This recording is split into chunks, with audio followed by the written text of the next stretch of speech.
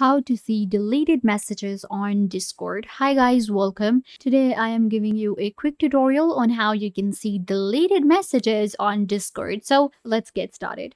You can see right here on Discord, uh, when we send a message, for example, if I send hello, we can actually delete the message as well right here. Now it's gone.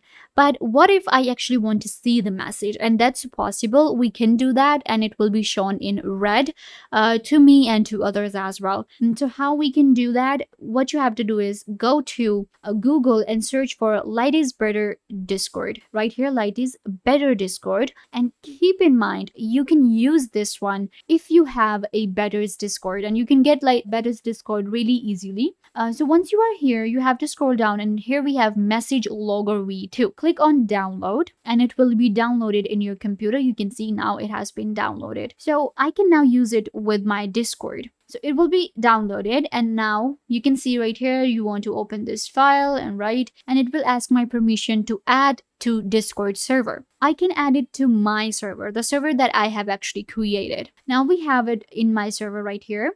I'm going to go to user settings and then what we can do is and then what you're going to do is you're going to go to the server settings right here. It will open up your server settings and we just have to go to integrations and it will be added right here in your integrations or you can also add it as a plugin. Once you have it, then you will just, you know, add to your server right here and that's it. Then whenever you will send a message right here on Discord or anyone else and they delete it, you will be able to see it in red. Um, keep in mind it works with Better Discord and you can just use this plugin to see the deleted messages on Discord. I hope that I was a big help. Don't forget to give this video a big thumbs up, leave a comment down below, turn on bell notification and subscribe to the YouTube channel.